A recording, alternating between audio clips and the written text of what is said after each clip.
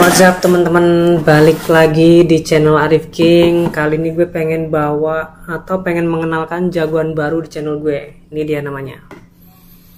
Agip 2T Plus. Agip ya bukan Eni ya. Agip 2T Plus. Ini bakal jadi jagoan selanjutnya di channel gue. Karena apa karena oli ini begitu jos gandos begitu kenter tenan netian tenan pokoknya speknya itu speknya racing tapi harganya tuh harga oli harian. Makanya gue bilang ini jagoan baru dah singkatnya gitu aja dah. Karena gini teman-teman kalaupun ada kekurangan dari oli ini yang gue catat ya yang gue catat ya dan yang gue temuin kekurangannya itu cuma dua hal.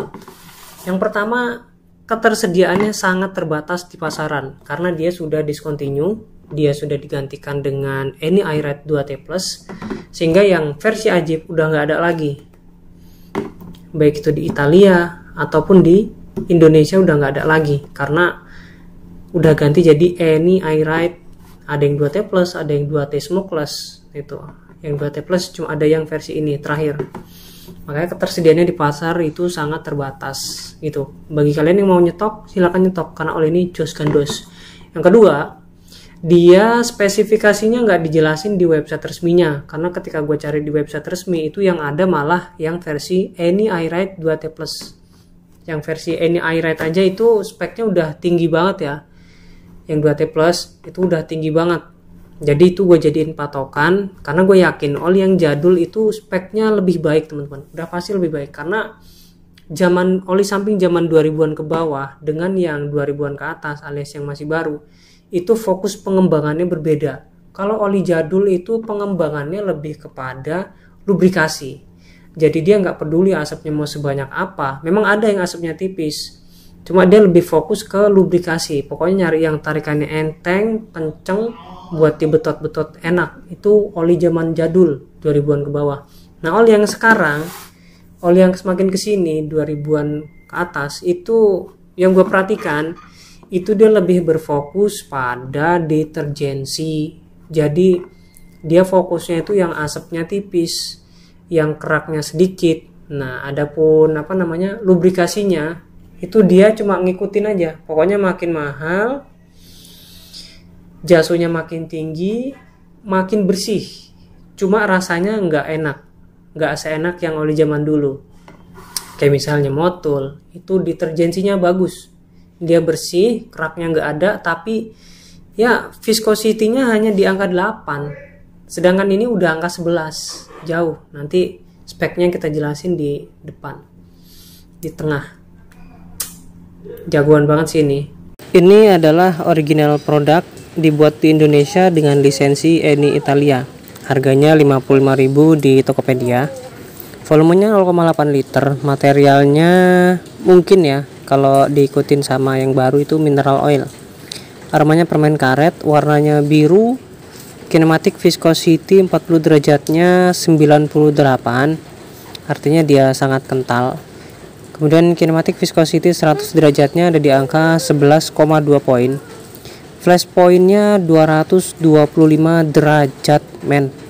Buset ini tinggi banget loh. Dan flash pointnya ini loh yang bikin gue geleng-geleng kepala 225 derajat celcius men. Bahkan ini masih di atas Moto 510 yang harganya 100 ribuan. Tapi mesti diinget-inget nih flash point tinggi belum tentu cocok buat balapan karena emang all ini bukan diciptakan untuk balapan. Untuk sementara pengetesan suara belum bisa gua cantumin hasilnya ya karena gue pakai knalpot kolong jadinya suaranya nggak bisa disamain kayak yang biasanya knalpot standar. Mungkin cuma bisa ngasih sampel pengetesan asap doang. Ini adalah sampel asap pada saat mesin masih dingin. Pas masih dingin asapnya lumayan kelihatan tapi masih tipis. Nggak sebanyak temen-temen temen-temennya yang lain. Ini tipis ya termasuk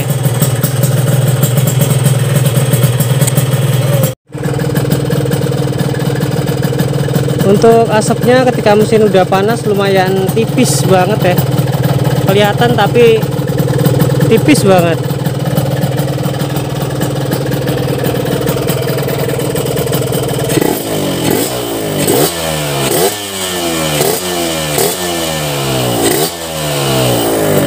Hari ini tanggal 3 November oli agibnya udah habis ya teman-teman.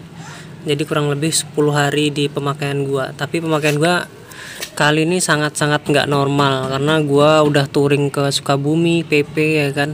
Ke puncak juga terus jam terbangnya juga lebih dari biasanya.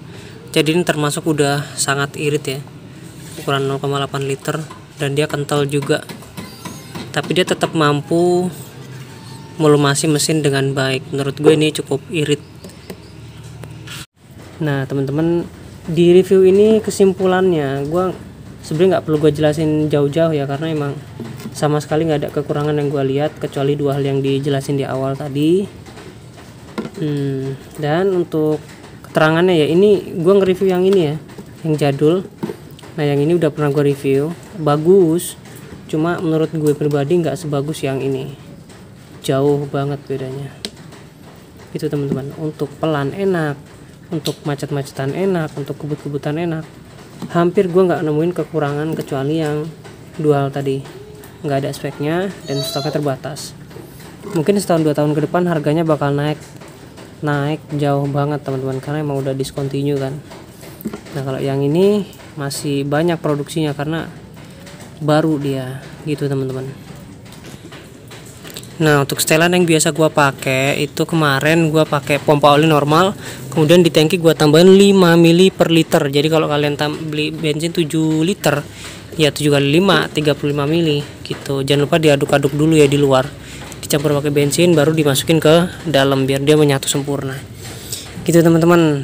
Buat yang udah pernah pakai, tolong tuliskan pengalaman kalian bersama Agip di kolom komentar ya, karena gua belum pernah denger nih ada orang yang rekomendasiin oli agip padahal ini oli bagus gitu. Untuk penilaiannya mungkin di channel gue gue bisa kasih nilai 9,5 menurut gue itu nggak berlebihan karena memang oli ini luar biasa jos gandos. Gitu teman-teman. Gue saranin nyetok dari sekarang mumpung harganya masih terjangkau. Karena mungkin untuk setahun dua tahun ke depan oli ini udah nggak ada bekasnya lagi. Untung gua masih bisa nemuin olinya. Kalaupun ada mungkin nanti udah mahal banget tar 2 tahun lagi itu teman-teman ya. Thanks for watching dan sampai jumpa di video selanjutnya